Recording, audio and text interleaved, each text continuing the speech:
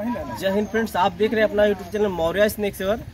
आज की rescue call है संत कबीर नगर बखीरा मंदिर के जस्ट पास में ही। बुंदी पार गाँव में देखा गया है अजगर सांप। बताया जा रहा है कि यहाँ पे अजगर सांप है।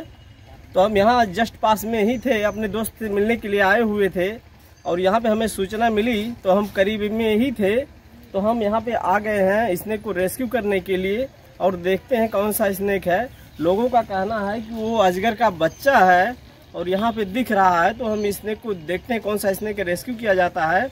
रेस्क्यू करके उन्हें फॉरेस्ट में रिलीज़ किया जाएगा, जहाँ पर अपना जीवन आसानी से व्यतीत कर सकेंगे। निर्भय होकर के इंसानी बस्ती से दूर, क्योंकि इंसानी बस्ती में रहने से खतरा होता है, लोगों को भय बना हुआ होता है और स्नेक को भी भय होता है कि कोई अटैक न करे। तो हम मौका पहुँच चुके हैं स्नेक को रेस्क्यू करते हैं, क्योंकि हम यहाँ जस्ट पास में ही थे। तो हम अपने जानते हुए किसी स्नेक को मारने नहीं देते। तो हमें सूचना मिल गई तो मौका पा चुके हैं स्नेक को रेस्क्यू करते हैं।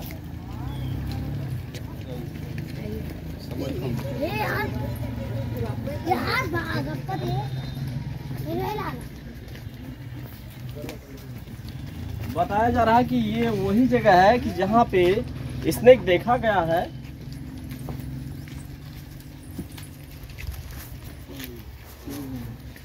जगह देखने पे तो ये लग रहा है कि शायद हो सकता है कि अजगर न हो कोई दूसरा सांप हो।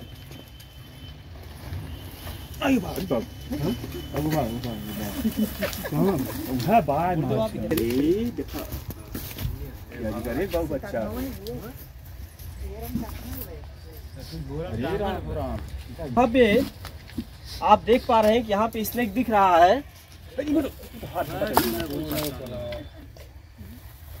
यहाँ पे दिख। और ये अजगर नहीं है। Indian common sand boa snake है जो कि यहाँ पे ईंट के अंदर छिपा हुआ है।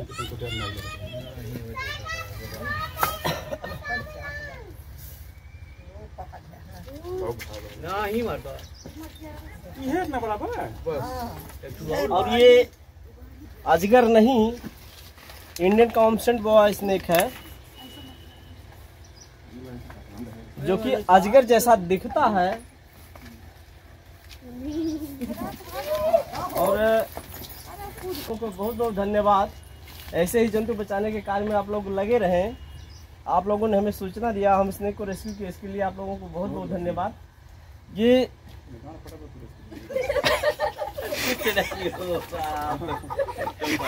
ये प्राकृतिक की अद्भुत देन है।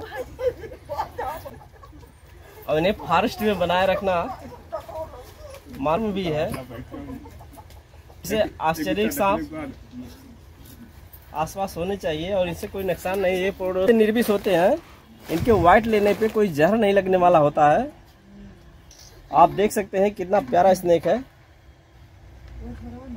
और ये अजगर नहीं है, अजगर भी निर्विष होते हैं और ये भी निर्विष है। Indian common sand boa snake है। और आप देख सकते हैं इसके स्वभाव को देख सकते हैं। हमारे क्या कई गाँव जान जाता था मतलब ये कोई ऐसा तो जहरीला सांप नहीं कि जिससे नहीं नहीं नहीं मतलब नहीं ऐसा इसने किसी को वाइट ले लेता काट लेता है हाँ। तो कोई जहर नहीं लगने वाला जहर नहीं बनता है। ये पूर्ण रूप से निर्विष स्नेक है। ठीक लेकिन ये तो प्रजात तो इसकी लगभग उसी की है। जी जी अजगर से मेल खाता हुआ है। अजगर से मेल खाता हुआ। कहीं ऐसा तो नहीं है चितंग वाला है? नहीं नहीं नहीं चीतक में मतलब रसल सवाई पर चंदा स्नेक अच्छा। ये वो नहीं है सर ये इंडियन कॉमन बॉय स्नेक है जो कि पूर्ण रूप से निर्विष है। और लेके चलते हैं सेवा के लिए आपको कोट से धन्यवाद। और आपकी महान कृपा हुई कि यहाँ के सारे लोगों के बीच में जो सांप का भय बना हुआ था जी, जी, जी। इस भय से आपने मुक्त किया। इसके लिए कोट से आपको धन्यवाद। जी, जी। भगवान आपकी कामना और आगे में और तमाम लोगों का में आप तत्पर रहें। यही मेरी शुभकामना है। और स्नेक को हम थैले में रखते हैं क्योंकि हम यहाँ पे बैग नहीं लेके आए हैं। हम अपने मित्र से मिलने के लिए आए हुए थे और ये संयोग से ऐसा हुआ। स्नेक को हम फॉरेस्ट में रिलीज़ करने के लिए आ चुके हैं। हालाँकि कोई बहुत बड़ा फॉरेस्ट नहीं है, किंतु यहाँ का बड़ा फॉरेस्ट काफ़ी दूर है। तब तक ये स्नेक लहलुहान हो जाएगा। तो हम इस निर्जन एरिया में स्नेक को रिलीज़ करते हैं। क्योंकि हम गोंडा जिला से चल के आए हैं तो हम वहाँ ले जाएँगे, तब तक स्नेक एक्सपायर कर सकता है, क्योंकि इसे थैले में रखेंगे, इसे घुटन होगी तो हम इस निर्जन एरिया में स्नेक को रिलीज़ करते हैं।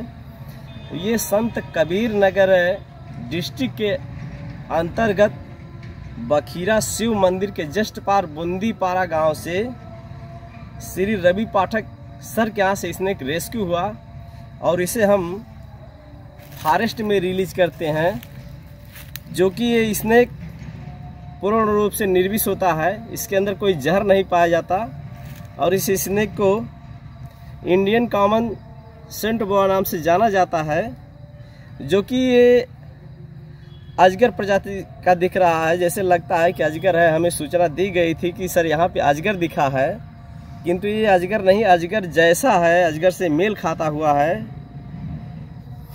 और हम स्नेक को यहाँ पे रिलीज़ करते हैं यहाँ पे अपने आप को एडजस्ट करके आसानी से जीवन व्यतीत कर सकेगा, निर्भय होकर के। इंसानी बस्ती से दूर तो हम स्नेक को यहाँ पे रिलीज़ करते हैं, यहाँ पे जाए, अपने आप को एडजस्ट करके आसानी से जीवन व्यतीत करे, निर्भय हो करके और स्नेक को हम यहाँ पे रिलीज़ करते हैं।